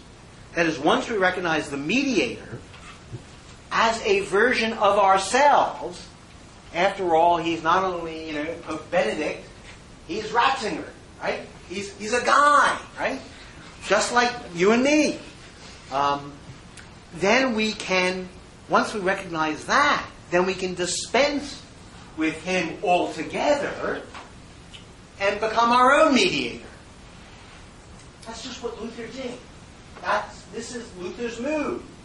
Luther said, well, look, if, if you, son of a bitch, are claiming to be the voice of him on earth, the priest, with the voice of God, how exactly are you in relationship to him that I'm not? And then you have to tell some screwy story about apostolic succession? Give me a break. Let's get rid of the reified mediator. We are our own mediation in relationship to the unchangeable. Each man is his own priest. This is what Lutheranism is. Right? Then, once you have that move, then you can go right to Descartes, where I take it that Descartes is simply making explicit the implicit identification of self with God in Protestantism. Oh dear. Those blank looks. Um, um, the cogito is, is, a, is, an, is a form of atheism. Right? It, it is the idea of the in. Have I given you this before? The impossibility of faith? Yeah, it's the evil demon, right? The evil demon problem is the problem of faith. Can you believe in God uh, and have faith in God? Well, it turns out faith in God, imagine God is an evil demon, right? And then, then God means absolute self-doubt. That is, what faith means is absolute self-doubt. And Descartes argues that's impossible. So the faith of faith, that is its certainty, is the cogito. So there is absolutely no gap between Luther and atheism on my reading. None. Be another course maybe, but at any rate, I'm not going to take that path now because Hegel doesn't, but So, so, part of the critique of Butler is that she holds on to the, the mediator, Pope priest, too long, not recognizing. In other words, absolute subjection. you know, She's all about subjection. so the, the, I mean, in a strange sense, the, I mean, the attachment to domination as a problem is Absolutely. is a peculiar theology of sorts. Absolutely. Yeah. Yeah, that's the argument. Well, it, it proliferates desire in the same way. And it proliferates desire the same thing. And, and lives in guilt, and hence her arguments about normative heterosexuality and its guilt structure and all that. It always comes back to the same essential structure of guilt. Okay. Now Hegel doesn't use this argument. Interesting that he doesn't. But the argument I just gave you, but I give you that argument only because that shows you how easy the transition is. Now Hegel makes the argument a little more complex, and I want to go through his complex version in about 12 minutes. Um, so if the problem to here is that, um, but this just picks up something that Katie's been insisting on all along, that what's been anchoring the movement of the unhappy consciousness is a moment of universalism. That is the structure of, of the unchangeable consciousness in changeable consciousness. It's been there all along, right? And it's been there as something that's never been really external, but only projected as external. So we're, we're simply reappropriating that moment that has been there from the get go. And what Butler doesn't take seriously enough, I'm suggesting the other side of that, is the truth of, of, of universality, of, of what's going to be the truth of reason. That is, there's, there's a kind of skepticism that goes along with the unhappy consciousness. Okay, if, if, excuse me, the problem to here is that each willing of renunciation was a performative affirmation, then at this juncture, Hegel argues, the unhappy consciousness must give up its will. This is what having a mediator accomplishes. The mediator replaces the unchangeable, permitting the unhappy consciousness to substitute the will of another for his own will. Of course, to will, to let another's will to be one's will, is a form of willing, and that is inevitable. The point that Hegel picks up here, though, is that is that the other here is now another finite being, a priest, whose will I'm substituting for my will. So the unchangeable now is appearing in the form of a finite subject the mediator, the priest, the pope. Now, as Hegel has it at the beginning of paragraph 229, the getting rid of one's finite self assertive will does two things. First, in being will-less, the unhappy consciousness now becomes the very thing he dreaded being all along a thing. This is the ultimate moment of self depredation. To actually turn yourself not even into excrement, but even worse than excrement, if imaginable, a mere thing, a lump. What vanishes here, according to Hegel, is the deception that performative thanking is not a form of self assertion. Second, in substituting the will of the mediator for my will, I have tacitly internalized the unchangeable essence in me. Say that again, because that's, that's the crux of his movement. By substituting the will of the mediator for my will, I have essentially, or tacitly, or, or implicitly, internalized the unchangeable essence in myself. I have made the unchangeable will my will. Now, Hegel's statement of this in paragraph 230 is probably less than crystal clear. But roughly on my reading, he is claiming that this is what happens, and because there's now no gap between finite and infinite, because the unchangeable is already changeable, that's the moment of the incarnation, and now the, un, the changeable already unchangeable, my interpretation of the incarnation, my experience of myself through it, then in principle, relief from misery has been given. The thought here is that this is, in principle, is ambiguous. And it is this ambiguity that Hegel intends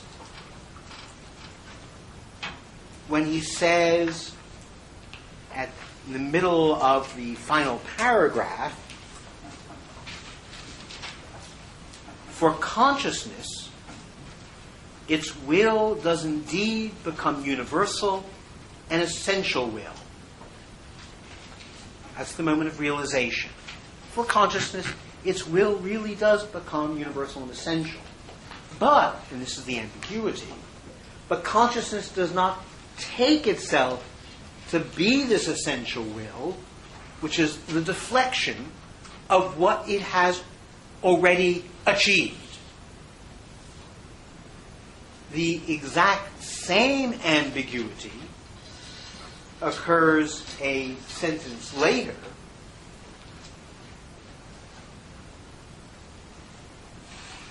when he says the unity of objectivity and being for itself, which lies in the notion of action, and which therefore becomes for consciousness essence and object, this unity is not the principle of its action, and so too it does not become an object for consciousness directly and through itself. Well, what's going on here? And I think this is where this is where Butler's misreading enters. The reason I think that nearly everyone gets this transition wrong is that they try to resolve this ambiguity. On my reading, Hegel is going to insist on the ambiguity of this moment. That is, let me get clear again what the ambiguity is of this moment. It both is the assertion that for consciousness, its will does indeed become universal and essential will, and at the same time, consciousness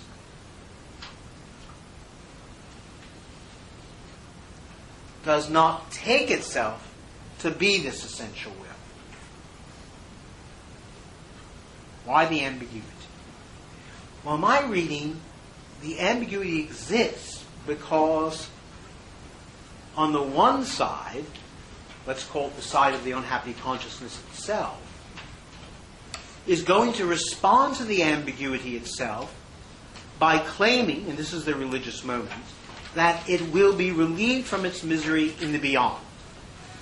And the reason that Hegel keeps this moment is because this moment continues. It continues in Kant's conception of the highest good, it continues in with the recurring history of Christianity, and it recurs in um, various places in Kobe and so on. That is, the notion of the beyond continues to exist in a new form. That's one side. On the other hand, he is also claiming that this same ambiguity has been resolved in a real reconciliation, namely the uprising of reason, which is what he says in the final sentence of the chapter. So you might say, and, and this is what I'm now claiming here, the simplest way of thinking about this is Luther and Descartes always occur together. And they enter into the modern world together. And they are both modern versions, modern versions of the reconciliation of changeable and unchangeable. One version of it, which is, let's call the repetition of the unhappy consciousness, will put the moment of reconciliation in the beyond. The other moment, the moment of Descartes, says, no. I am God. Well, what he says in Le Monde, to remind you, is let's pretend that God does not exist. and let's now say what the structure of the world would be if he created the world again. I.e., he says, I am God. I don't see how he could be more explicit about it than he is in Le Monde. So the crux here is, is twofold. First, that the idea of the mediator is implicit from the get go. This is what Jesus is, this is what the incarnation is all about, but that role could not be recognized as long as, as it was simply seen as God as God in finite form. Because the God always remained a problem. What the mediator does is make explicit what is already implicit in the incarnation. Second, pace Butler, the performative contradiction strategy has done everything it could by demonstrating that neither self assertion of particularity nor embodiment are circumventable. Right? That's all performative self contradiction can do. Which is to say, it is a dead end strategy for moving on. The best it can do is, well, I think the best it can do is Butlerian proliferation. That is, other forms of unhappiness. Which, of course, is the same thing that happens in Foucault. It is hence no accident that what Butler does essentially is spread out the problem, pluralizing the uprising of the body without really working through the governing issue, namely the compatibility of the two sides of our dual consciousness. So I want to say that, that she hasn't even thought the problem that Hegel is trying to come to grips with. Hence, she never truly asks if the unchangeable is compatible with embodiment. She always leaves it right, as that double structure of subject, subjection, making you subject. So subjection, no subjects without subjection. That's, if, you, if she has a motto, that's it. While the problem does not get settled here, Hegel does assume that something radical happens with Luther and with Descartes. That they are different, sure, and not reducible to one another. That's my version of the ambiguity. But nonetheless, they are logically related. The logical relation will look less troublesome if one recalls that even the Stoical rationalist strategy, namely Descartes,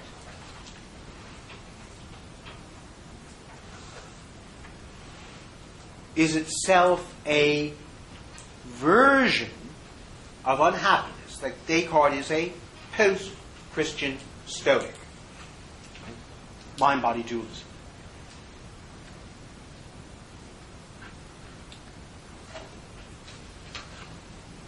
So rather than overcoming embodiment, my suggestion is the change must and can only work from the other direction and show that the unchangeable, the universal, whatever it is, need not be located as beyond, but instead could be inhabited by a finite consciousness. That finite consciousness we have a name for in modernity, the very name that Descartes and it. Reason.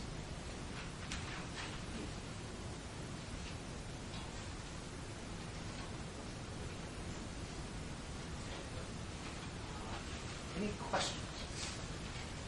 I've skipped a lot. Um, I'll, I'll say maybe more next next week. I'll go through this conclusion a bit later. Yeah. You mentioned uh, Jesus is the third mediator, while priests they are also medi- uh, mediators. Right. So, uh, uh, is there any difference between these uh, two kinds of mediators? There's no difference in principle. What my claim is is that Jesus because he's a singular case, represents the idea of mediation, while priests are the actuality of mediation. But both of them accomplish the same thing in principle, namely the bringing together of universal and particular. Right? So my Hegelian way of saying is the priest makes explicit what is implicit in the incarnation. And then eventually, you'll notice what's missing from the story is the Holy Spirit. And that will become huge in the chapter on, on religion. So there's a further step to take here. But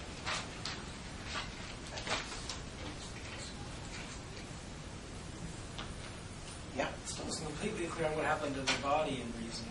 I understand the reconciliation, if you like, of the unchangeable and finite consciousness. Mhm. Um, but, but you said just a second ago that well, Descartes is a kind of post-Christian Stoic mind-body dualism. Right. Um, um, The, the body's going to come back in as a problem. Think, think about think about Kant. I mean, what could be a bigger problem for Kant than natural desire, happiness? That's why I'm saying that the reason why Hegel doesn't want to finish with the story of the unhappy consciousness is because he knows it's going to come back again in varieties of German idealism itself. Right? So, so what he has to do is explain how it can be the case that there can be a real transition to reason and a real advance, a movement of immanence. I am the world. What Descartes and Kant both say, that's the Copernican turn. I am everything. You know, I make the world. I give the law. I mean, how more explicit can they be? So that move has happened. God's, you know, written off.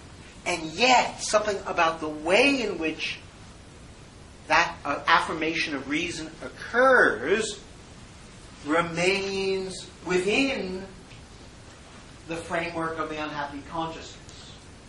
Right? And therefore, the rest of the book has to work through, let's call it, the remnant of, un- of unhappiness within the assertion of modern subjectivity in various ways. So, although, and I want to be clear, this is why I am unhappy with the accounts of this book. Again, I'll mention, I'll say more about this next time a little bit. I want to end here because so far, even with the assertion of reason, I am the universal, I am the world, I am everything, it still hasn't happened. And somehow the works, when, when, when readers of Hegel see that, they say, well, that's Hegel's thought, right? That there's a unity of being and thought. That's, that's, that's what I mean by I am everything. There's a unity of being and thought. In Descartes, that's the meaning of the second meditation. That's the point of the piece of wax. Say more about that next time, too.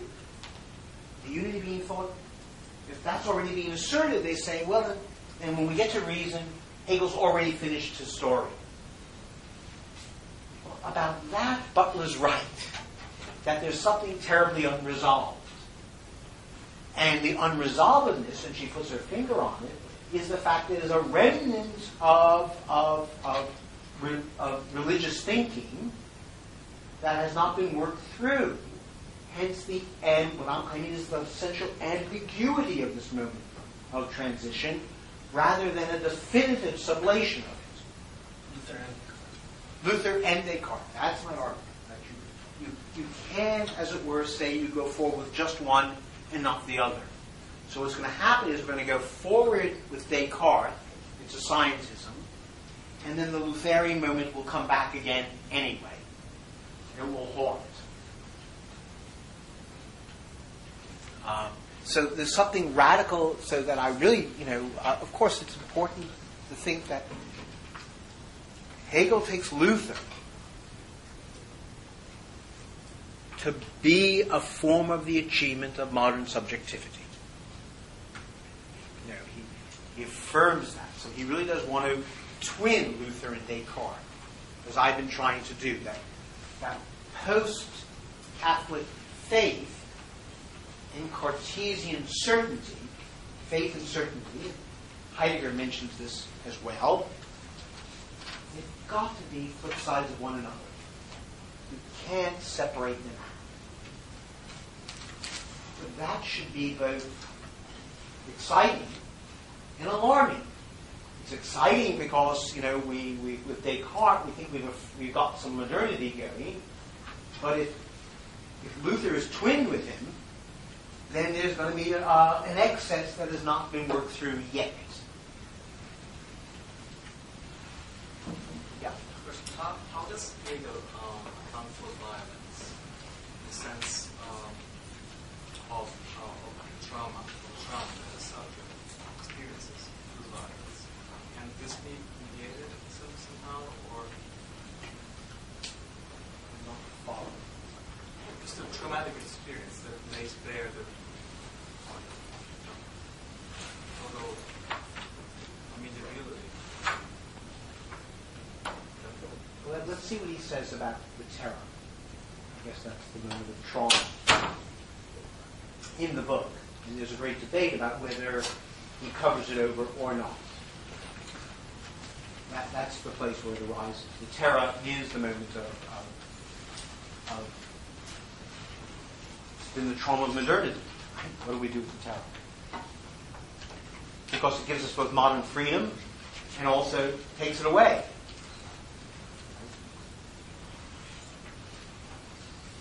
I'm just, uh, just uh, Rebecca Comay just sent me the final version of her book on this. I'm not going to say anything until I read it again. Uh, okay, let's stop there. Uh, uh, I will answer. I, I want to say a little bit more, if you all seem to want to come next time. Say a little bit more about the transition, give you another version of it, and answer any, any, any questions. Textual, come in with questions, come in with textual worries, the works.